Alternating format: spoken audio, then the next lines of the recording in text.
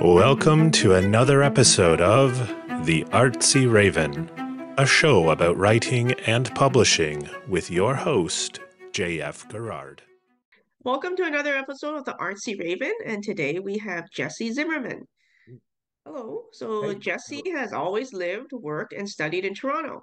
Growing up, Jesse enjoyed fiction, particularly speculative fiction and fantasy, anything imaginative. He began writing as a very young age on a DOS computer. Wow, I mean, I still remember those. Um, Mhm. creating short stories and little novellas.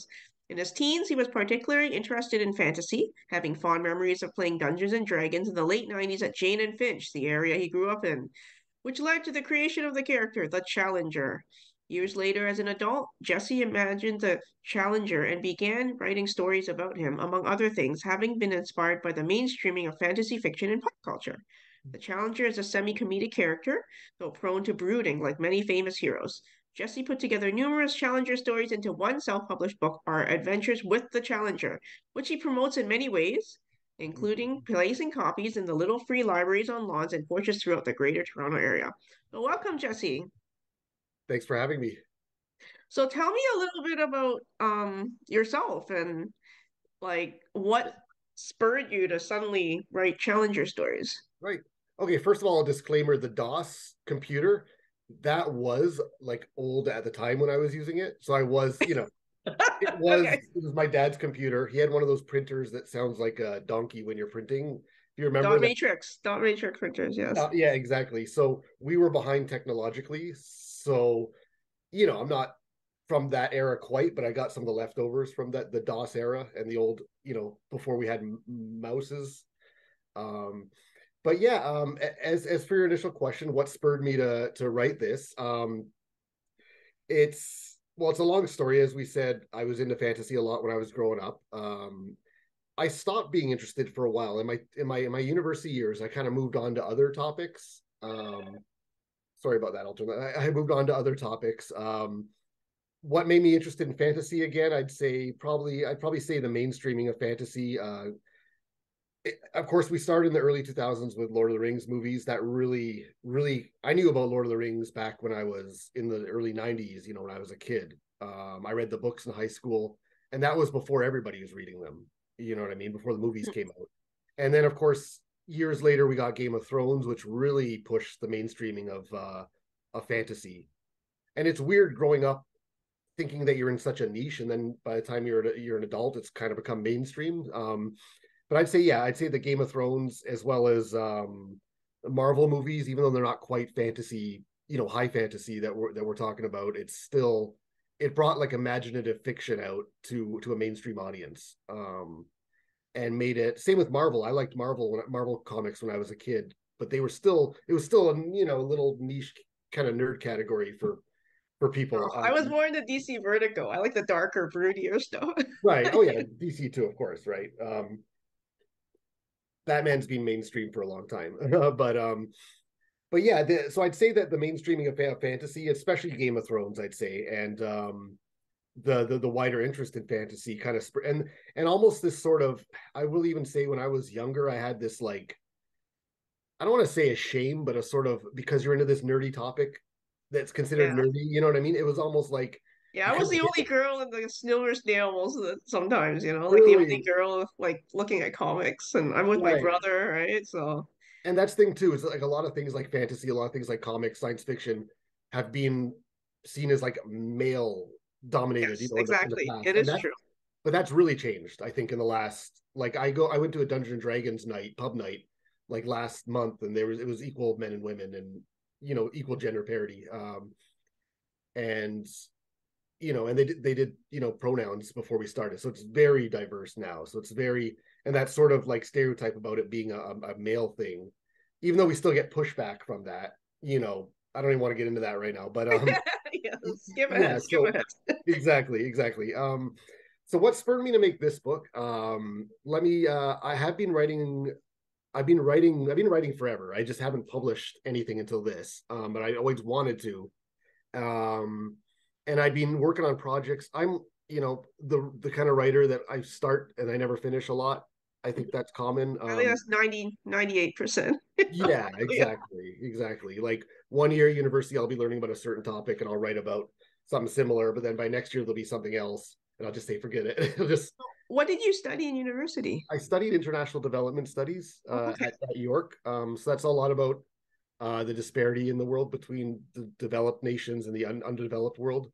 Um, I, I so I that was um not just that though i say I, I informally minored in politics informally. I just took a lot of politics courses in general. Um so yeah so i was really interested. I was writing a lot of stuff. I was trying to be like orwellian right or orwell sort of dystopian stuff when i when i was in my like early to mid 20s um i think that was the year v for vendetta came out. So you see what i'm saying? I'm very pushed by what's going on at the time.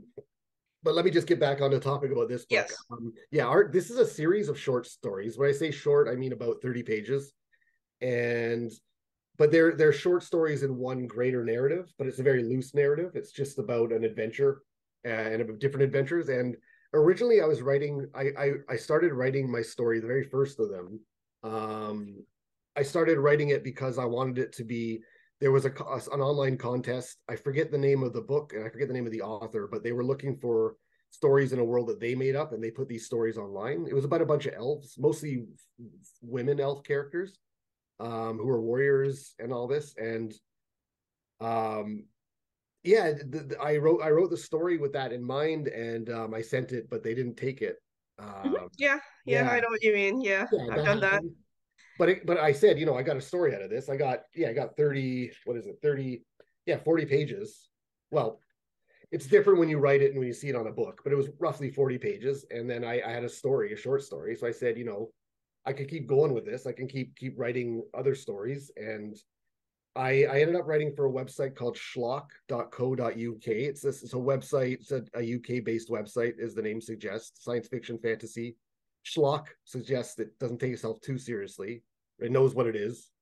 And uh, the guy uh, Gavin uh, Gavin he really likes the stories. He he and so I just kept writing. So I, I wrote a whole bunch of stories and and then it's, and then I found out about uh, and Gavin actually told me about this about the KD KDP uh, Kindle Amazon, yeah. Amazon.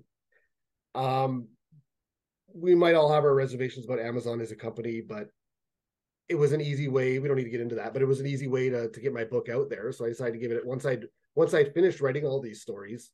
I, I said, you know, I could put these all together in a, a small anthology, and and that's what I did.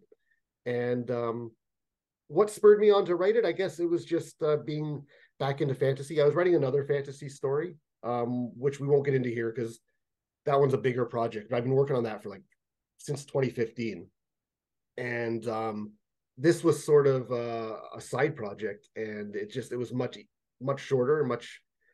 Um, and then I, I had a, a means to publish, self-publish it, and um, yeah, self-publishing. I, I was hesitant to do that at first. Um, we met at an event where you brought resources. I still have the sheet. Uh, you really see it here, but it's uh, various resources about self-publishing as well as traditional publishing. Traditional publishing is really hard. Mhm. Um, and I haven't traditionally published anything aside from small stories online or whatnot. So this was a way to maybe potentially get out there and um, put my uh, my writing out there and, and see where it goes. And this could lead to uh, people noticing me and maybe getting something traditionally published in the future.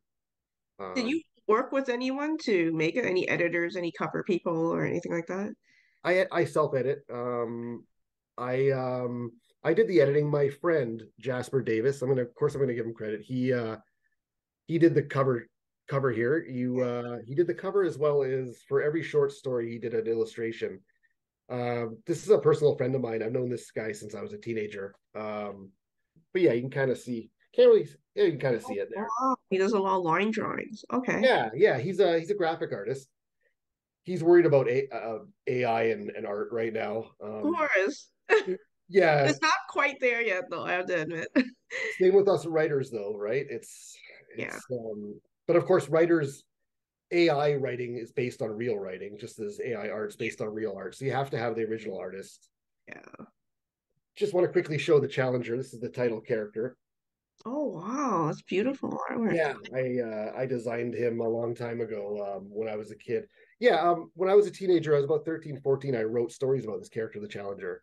Mhm. Um, he was a ranger. He was kind of a brooding hero. Um, Mhm. my stories, even though I was 13, I took them very seriously. Even though if I read them now, I'd probably think they're kind of comedic. But um, but so I so I, I I resurrected that character. I wrote about him in these stories.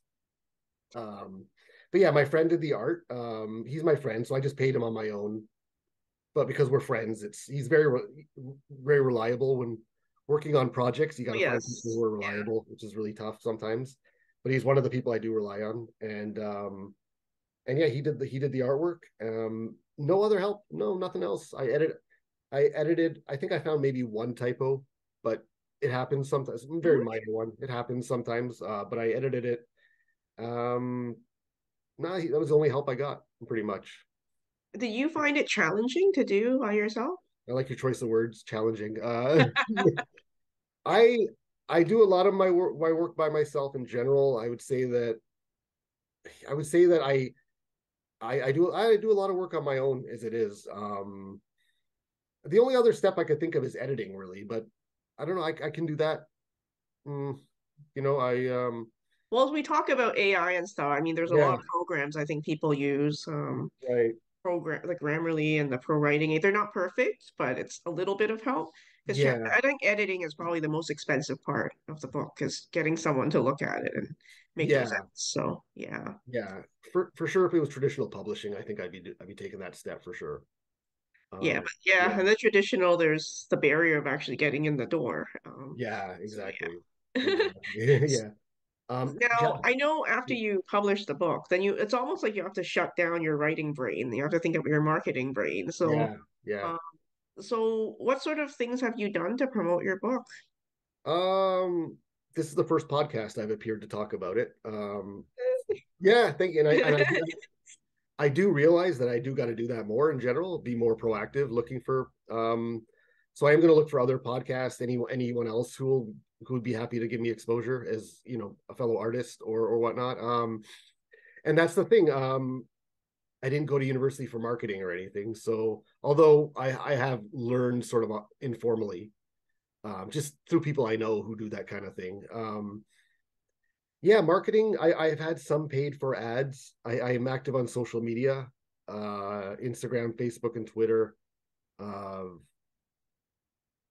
which I know I need to get involved in in more social media as well, especially stuff that appeals to uh, the next generation. Facebook seems so like like something uh, older people use now. You know what I mean? It's kind of become like that. Um, and I don't even want to get started on Twitter, but um, the main thing I've done to market it and to get word out there is I, I uh, on on Amazon KDP you can order authors copies for a, a low price in bulk, and then I I get the uh, yeah I get the copies and then I distribute them in little free libraries. Uh, for anyone who doesn't know, these are they're usually in neighborhoods with houses. They put them on their lawn. Looks like a little like informal mailbox or an old school mailbox. Um, usually made of wood. Um, some people like to do them up, uh, but they're just book exchanges, right? You can drop off books, you can pick up books. Um, people of all different ages do this. A lot of young people do it. I see a lot of seniors doing it too. They they uh, you know in their neighborhoods. Um, in my neighborhood too. I'm in I'm in the uh, I'm not far from High Park area. A lot of so there's a lot of uh, a lot of older houses here. A lot of people who do it uh, do the the books. Um, I've donated some to I donated some to the Toronto Reference Library. They have a small shop there Mm. um, and uh, other used books stuff. Sometimes, sometimes I'll see a bunch of used a bunch of books in a in a a, a cardboard box on the street, and they'll say, "Please take," and I'll just drop one off. I'll just be like, "Yeah, sure, it was there," you know. Um, and and yeah, I go back to the uh, little free libraries, and I notice people have taken them, or so I hope. I hope they take them, and I hope they don't they don't throw them out or anything. And they and um, I've seen some come back after they've been out, so I'm I know people are reading them. Uh, I just it'd be great if some some of them would say nice stuff about it online. Get to Mm, get It's also hard to get a review. It's like pulling teeth. I know Please write a review. Jasper, my my artist, he went and did a review, which is like, and he even said I'm the artist, and I'm like, thanks. Um, I'm the You know, artist and I promote this book. yeah, people go and see five stars, one rating, and then it's like, yeah, I'm the artist. I liked it. Um, but he actually read it, so he's not he's not BSing there. He actually did read it. He liked it. Um, I've known this guy for years, so he just reads it and he can see me in it. You know what I mean? Mhm. So, um, but yeah, as for marketing, um, there's you just got to promote it and promote it. I made a, a many YouTube videos. There's a long way to go, right? Um, it might take years for anything if if it ever gets anywhere uh, in terms of you know g- reaching a wider audience. Oh, Uh, definitely. So tell me what's all about your YouTube videos you've made. I made a few YouTube videos. I made one with AI art. I'm thinking about taking that one down. Yeah, I, AI AI art. I, I'm thinking I might. It, it's it's gotten better since I made that video too. So I, I could make a much better version of that. But I made I made um I made videos where I just reuse images from the book. Mhm. Um, we also have a map in here. Every fantasy story's got to have a map, right? If it's world building. Yeah, I have a map in my first book too. Yeah. Yeah. So Yeah. yeah. Yeah. yeah but this looks a lot like middle earth right it's supposed to it's supposed to but um so so i reuse images from i did one that's kind of like game of thrones it's kind of zooming all over the map with some Mhm. epic music you know so it's um Oh yeah. yeah so uh that's what i've got right now um i do on twitter i do writers lifts. Are you familiar with writers lifts? No, Uh, what is that? they some people say they're more uh, useful than others. They're um you uh you call on authors of, of on twitter to, to post their books. Oh, post links to their books and then or or whatever or and then they they re, you're supposed to retweet it once they people post it. It's called a writers lift hashtag writers lift um, Writer's lifts. Oh, okay. I have to look yeah. that up. So someone will say we want to have a shameless Sunday promotion. Put your writers lift. Yeah, they'll actually put that hashtag shameless promotion.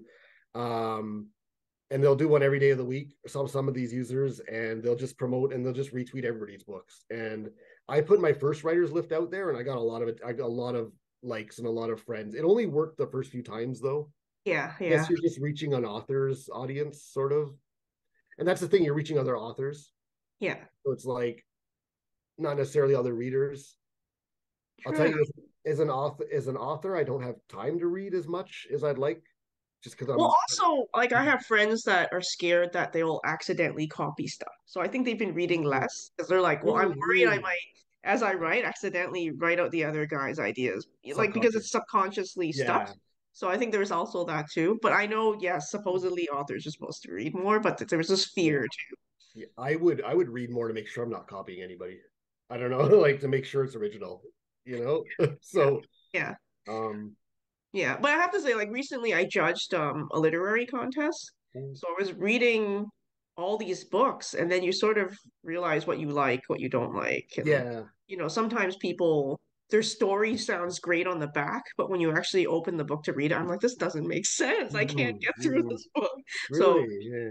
so yeah, I think before I was like, I have to finish the book, but now I'm like, yeah, I can't do it. And then I just put it down, pick up another one. Yeah, I, I remember in grade seven, I had a teacher who said if the first if the first like few pages don't grip you, just forget about it, right? So Yeah. it's yeah, it's tough. It's tough. It's uh, most of the time I read is on the subway, right?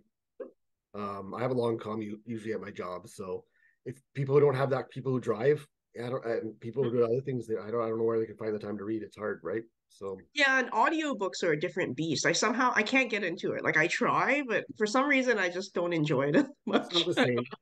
I listen to audiobooks at night and then drift to sleep to it and then come back and rewind a little bit.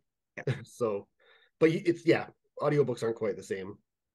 Uh, So tell me, are you going to continue with the Challenger, like more stories, or are you starting another book? I I do I do have another larger project that I've been working on, as I said earlier, for about five six years. Uh, but I to answer your question, yeah, I'm actually writing the sequel right now. Not Okay. literally right now, but every day I I I write a little bit more in it. Um, the tentative title is a, called a prequel with the Challenger, so it's a prequel. Everybody likes prequels. Uh, but um, I'm not sure if that's going to stay or not. Uh, by the time this this recording's uh, out there, it should be out. Um, so yeah, I, I'm I am writing about the Challenger to answer your question though. Um, and um, I might if I we'll see how things go. I might just keep doing it, just keep writing about this character Now, is the Challenger based on yourself? Do you think? loosely.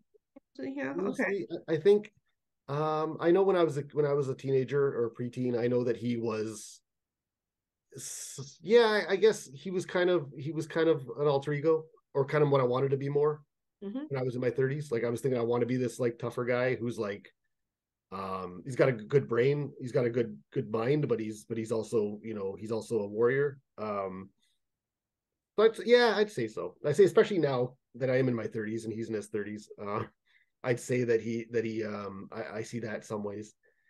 Uh but but um originally I invented him uh I invented him just to sort of be a brooding hero. You know what I mean? Um hmm. but he did kind of start out as a nerd. So I think that yeah, I think um it actually says in the story too. He went to university and everything and had a bad experience. Um and then he became a brooding ranger. Um but he um and he is a character that people don't don't assume is intelligent. They think he's just like because they just see the brooding sort of warrior, but he um he comes from an academic background, so he's you know, they might assume he's street smart, but he's not book smart, but he's both. So Okay. Yeah. Kind of reminds me of The Witcher, where people assume he's a thug kind of thing. mhm, mhm. I think that's a lot of characters too. I think Yeah. even Batman's kind of like that, right? So Yeah, that's true. That's true. yeah. Um here he looks like Kurt Russell from uh Escape from LA, Escape from New York. I think that I haven't even seen though. I've seen bits of those movies. I haven't even seen them all the way through, but um I realized I got my even when I told uh Jasper to draw him, I said make him look like Kurt Russell. Uh Yeah, you need something to base it on when you draw yeah. But I remember I remember the Escape from LA movie came out when I was a kid, and I think when I was a teenager, and I think that subconsciously might have went there, which what we were Mhm. talking about earlier. Um yeah, you can see that sort of yeah. Yeah. So- Eye patch. Yeah. yeah, eye patch, the shoulder length hair. Um, so yeah, um, but yeah, I hope to write a bunch of stories about the Challenger. I made him comedic, um, partially because the tone I was writing for. If I told you about, I told you about that elf story that I was writing for. It was kind of comedic fantasy. Um, so I kind of I made him comedic because, for a number of reasons, I just thought that like uh, as a character, it, it's um, I don't know, he's kind of cliche. It's kind of hard to take him too seriously, if that makes sense. Um, I I made him self aware. He breaks the fourth wall a lot. Like he kind of yeah, Okay. he makes Okay. references. Yeah. So we've been talking a lot about the Challenger. So Mhm. we're going to um, play a video that Jesse's put together about the Challenger. So um, we'll start that, and then Jesse's going to do a reading after. I am Flora, daughter of Flora, and this is the tale of an adventure. My twin sister has for years yearned to leave the city walls in a great quest of sorts. As we reach age, her wanderlust can no longer be satiated.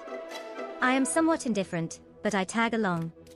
We travel upon the open road that leads far from our home. In a tavern, we meet a woodland ranger who gives his name only as the Challenger. He claims to be neutral and chaotic, a far cry from our youthful idealism, but he seems to know the surrounding wilderness lands. At dawn, we are ready to explore the countryside and find a worthy quest. Where will these rustic roads and twisting trails take us? Read within these pages the tale of our adventures with the Challenger.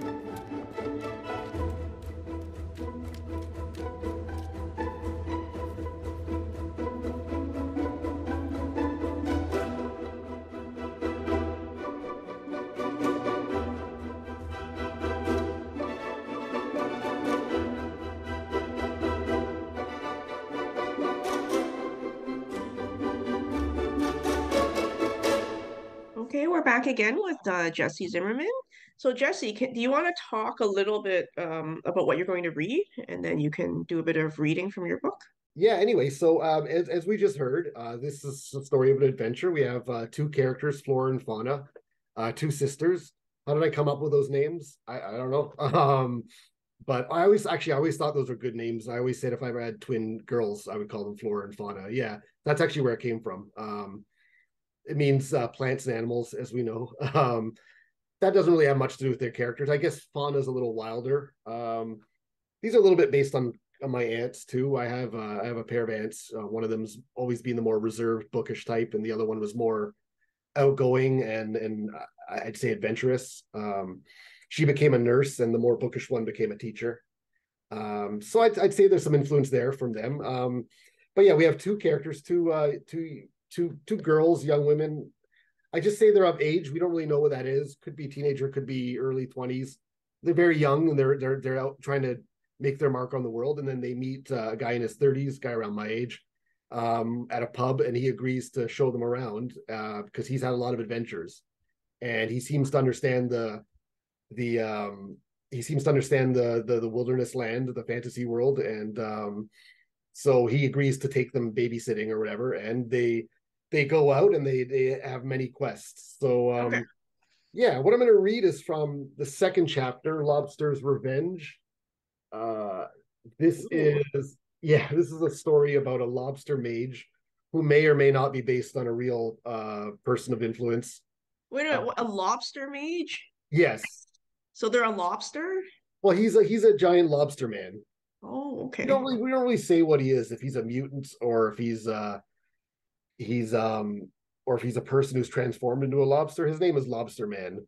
Okay. And um Just thinking there's probably a Lego minifigure. probably I just bought my son a chicken one and a pig one. So Oh yeah, yeah, Yeah, probably. okay. Um so they're they're coming off of a last adventure and um they're going on to their next one Okay. and uh continuing with the challenger. All right. All right.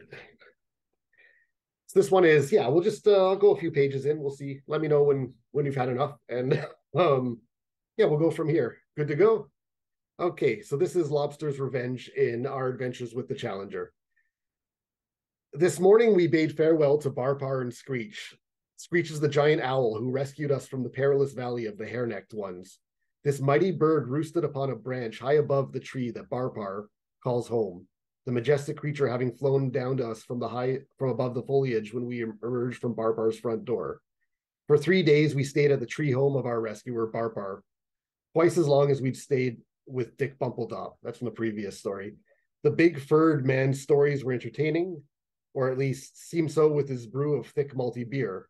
Our three-member party endured our latest host songs and tales while we passed along some of Barpar's herbs from the forest. Our party now proceeds our trek through the woodlands of the great Northeast, my sister running on ahead of us as usual. A wide ancient road between heavily treed ridges is our first pathway of the day.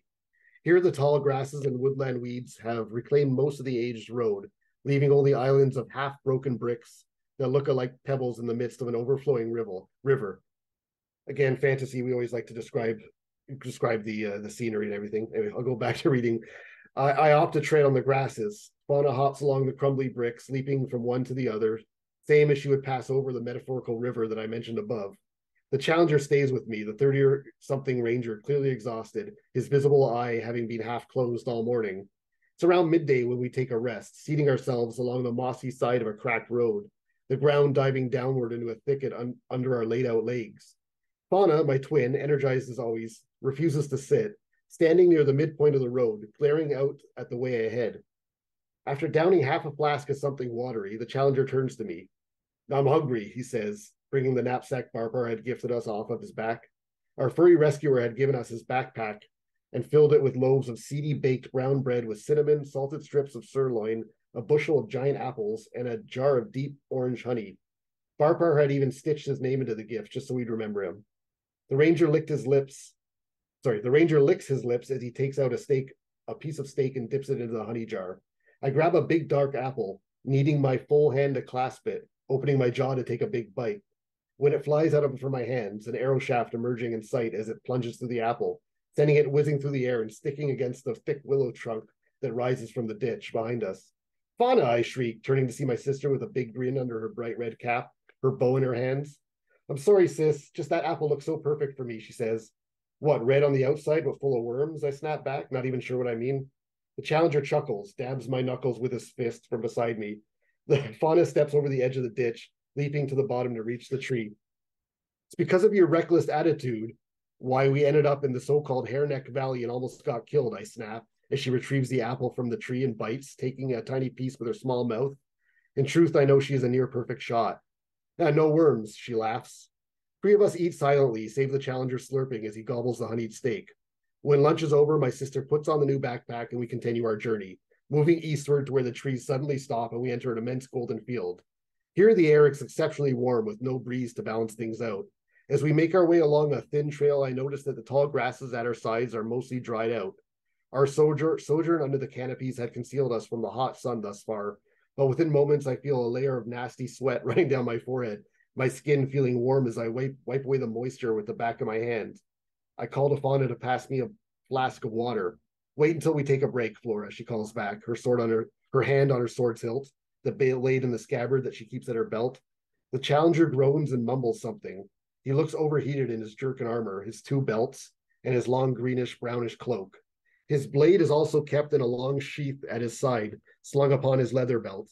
He and my sister both have bows and quivers of arrows on their backs. I'm relieved, at the least, to not have so many things to carry. All I have is my trusty dagger in my pocket. We lost a bunch of item and items back in the valley, including my little scope that mother gifted me. Ah, I said loudly, thinking about home. I could use a day on the coast or inside mother's library. This immense library is always cool. There are tunnels that are designed to suck in the air from outside and send it spiraling down long pipes that lead to the chambers. The breeze cooled by tunnels of water that it flows through my on the way. Right now, I imagine myself reading an old book, leaning back, drinking from a cup of icy water as I enjoy the calming silence in one of the giant rooms or corridors, a perfect way to spend a hot day in Mother's library. A long hour passes while we make our way through the tall grasses. The landscape, it stays the same. There are mountains and hills in the distance to the north and the northeast, a half a day's trek perhaps, and beyond the field eastward I can see woodlands again. Trees, the challenger shouts as he too notices them. Shade, I cry in agreement. You guys really hate the heat, eh? I, Fauna asked, waiting for us to catch up to her. Typical adventurous grin on her face. A dragonfly buzzes past her. She swaps it but misses, the long bodied bug speeding past her. She charges after it, pulling out her bow as she runs, loading an arrow. The challenger and I share a shrug and take off after her. We run ahead a short distance, coming to a creek, not a metaphorical one this time, with the shore of dry mud. We peer into dark green water, its surface covered in thick peat. I bet it's steeper than it looks, says the challenger, pointing his head hand at the width of the river, which looks two times too wide to leap across. Wait a sec, says Fauna, pulling back her bowstring. I think I got it. Just as she is about to loose the arrow at the dragonfly, that rests upon a particularly long cattail now. A long pinkish thing, a tongue, flings up from beneath the water and snatches it, the arrow. We see it, no, sorry, the dragonfly. We see a pair of olive green lips emerge from the creek. Ew, says Fauna as a frog that must be as large as a medium sized dog raises his head above the water, chewing before belching louder than any person I've ever heard. Frogs don't really belch, but the challenger laughs at my side and says, All right then, how to cross. Scanning the far side of the dank creek, I begin to say something when my sister backtracks a few steps before charging and then leaping from the edge of the creek, her feet landing nimbly upon the big frog's head before jumping again and flipping in the air, landing perfectly upon the far shore. Such a show off, mutters the challenger, and he says, I can do that probably. The frog in the middle of the creek raises its bulbous head, opens its lips, and lets loose its mighty tongue, aiming directly at Fauna's back now. The tongue latches onto the knapsack with all our food. She cries out, falling back, landing on her butt on the dry mud of the shore. The ranger at my side grabs his bow in haste, lining up an arrow just as the knapsack flings off my sister's back, splashing green brown water as it lands atop the frog's face, and then both sink into the gloopy water. The challenger lowers his bow, having not bothered to shoot the arrow. Fauna curses and says, That's our food. We need to kill it. Kill that toad. I think it's a frog, I say, and the challenger nods. A series of big bubbles rise to the surface of the spot where the knapsack sank. Another loud belch rings out and then something splashes and shoots out from the water, landing beside Fauna. It's the knapsack. Fauna sighs loudly in relief, grabbing the now slimy bag, forcing it open. Hey, the toad ate all our food, she says. The challenger reloads the arrow. Fauna grabs her bow off her torso and does the same. They both let loose about five arrows each before I yell at them, Stop it, you're wasting them. Kill the toad, my sister cries angrily. Slice his belly, my ranger friend agrees. Get our food, yells my sister. Do we really want to eat the food after it's been inside that frog? I asked them. Anyway, so they both stop. My sister continues swearing. I look away, sighting a wooden bridge down the creek, cursing a bit myself as I realize if we just looked around when we came to the water, we'd still have our food. So we cross the bridge soon after, meeting Fauna at the other side before continuing into the woods. What are we going to do? My sister asks as we get into the shade of the first trees, finding a thin trail to tread upon. I'm hungry already, moans the chat challenger, rubbing his abs under his jerkin. You can catch us something like you always do, I tell him. Great challenger of the wildlands, they call you, right? He nods, gazing about, taking off down a smaller trail, telling us to go ahead only to meet us further down without any food. He tells us he saw a mother deer and a fawn, but thought they were too cute, as well as a few skunks that he was too hesitant to eat lest we bite into its stinky parts. The skilled hunter promises to get us something later. We continue on our way, our quest to have Another quest proceeding. The forest pathway widening, forking at some points as we keep to the north and the east. I look about the trees and bushes for apples, pears, berries, finding nothing but leaves and buds. At one point, as the three of us are walking side by side, we hear a deep, low grumbling noise. Thinking a ferocious beast is near, we all prepare our weapons, only to realize it's the challenger's belly. I'm beginning to feel hungry myself. Soon we come to a high point, the forest floor having run uphill most of the afternoon. Here there are only a few short trees, this place relatively clear, almost like a clearing, and we can see the treetops ahead and below us where the pathway plunges downward again. A short way away, we see a single pillar of smoke rising from between canopies, a sweet roasting smell accompanying it. Ah, camp, my sister shouts, pointing. And they're cooking something nice, the challenger adds, licking his lips, although I wouldn't count on them sharing. Why not? I ask him. He chuckles a bit. You don't know wandering folks as much as I do, he says. Some have great hospitality, sure, but others would slay you just for asking. We'll see, says my sister. I say we take a small bit of the food, says the ranger, shaking his head. Why risk a fight? I could just go sneak in there. And then I tell him we can't do that. And then my sister agrees. And then she said, I already told you we're a force for good. And then the ranger says, and I told you I'm, yes, yes, neutral and chaotic. Both of us sisters say at once, to which the challenger nods. We descend the path cautiously, our soft boots making barely any noise, the succulent smell getting more intense as we get closer. Fauna points out a pair of prints in the earthen trail, pointed toes looking more like a beast than a man, but clearly the work of two feet rather than four. The challenger says kobolds under his breath and retrieves the sword from his scabbard. I groan. They look too big for those little rat beings, Fauna says. Eventually, as the scent becomes stronger than ever, we hear voices. They are deep, guttural voices. The three of us slink along the narrowing trail, finding ourselves on a ridge overlooking a camp. The fire burns in a clearing down the way, a thick pair of bushes concealing us as we peer down at a pair of two legged creatures. They resemble the kobolds we saw back in the valley, furry and rat like, dressed in red mail armor, though they are nearly the size of a person, and their snouts look longer compared to the smaller kobolds we saw days prior. They hold in their hands long, iron tipped spears, and both of them are facing away from the fire. What are they? I whisper to the challenger as the three of us. Oh, what are they? I whisper to the challenger. The three of us huddle in the little space upon the overlooking ridge. He shakes his head, his unpatched eye looking confused. At his hands, his blade is ready, while my sister prepares her bow. There's a big slab of gigantic meat on the fire, part of it blackened and crispy. Behind the flames, where the larger than usual kobolds are not looking, runs a trail beyond a wall of massive tree trunks. No, I say, wanting to be cautious. We can get food somewhere else. The challenger shakes his head again. Let me go, says Fauna. I can grab it. I'm small. No, says the challenger. The challenger has already parted us, though, even though my sister protests, making his way down the ridge toward the trail that leads to the rear of the camp. My sister grunts, pulls back her bow, ready to cover for him. We see him sneaking through the black the back trail, his arms sprawled out at his side. Each tape, each step he takes gingerly, gazing at the two kobolds.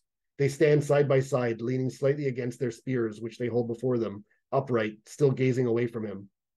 One of them mutters, hmm, the one on the left. Then he says, I'm starving, I am. Ah, quit your whining, worm, returns the other. Captain says we ain't taking food to eat and the others are back. Those are our orders. The first of them grunts, Hey, starving I am, he shouts. Oh, just a little piece, Gav. Now shut your rat mouth, snaps the second. Is you still a kobold, or did the master make you a proper alphabold like the rest of us? Stand straight, mate, like master says, lest you be a sniveling cluck. The first one snarls angrily, but says nothing more. The challenger steps on a twig that snaps loudly. I see his face grimace as both kobolds, or alpha bolds as they call themselves, turn about. One thing about the challenger is that he always has a snarky line ready.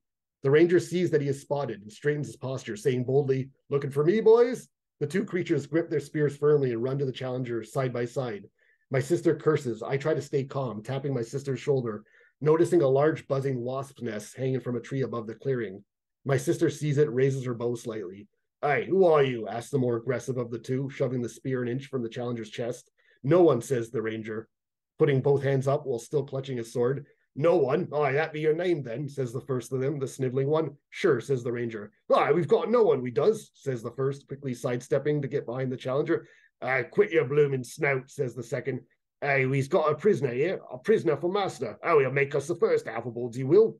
The first of them grins, curling his rat lips, his front teeth pointed and yellow. The challenger shakes his head, waves the sword about a, for a split mo- about his head for a split moment, and then ducks. The second kobold shoves a spear forward, missing the challenger's head by half a foot. The end of his spear plunging into the chest of the first kobold behind the ranger. And the sniveling creature cries out, grabbing the spear shaft in his chest. Oh, I thought we was friends, I did. Fauna shouts, dislodging the nest. Shoot, sorry. Fauna shoots her arrow, dislodging the nest from its branch, causing it to dangle for a moment. Get here, you twit, the surviving kobold guard shouts as his companion falls over. The challenger leaps backwards, dodging the preceding spear thrust. Ow, says the kobold as the wasp nest lands on his head. Ouch, they're stinging me. The challenger sees his chance and he takes it, striking his blade hard against the foe, bringing him down. He cheers. I pat Fauna's shoulder we both laugh. And then the clearing, and then the clearing our friend stands in erupts with furred bodies, all clad in the red armors, the first two. I count quickly, gasping as I tally nearly a dozen of them. The challenger's one eye goes wild. He looks ready to begin slashing, and I know he can likely still win here.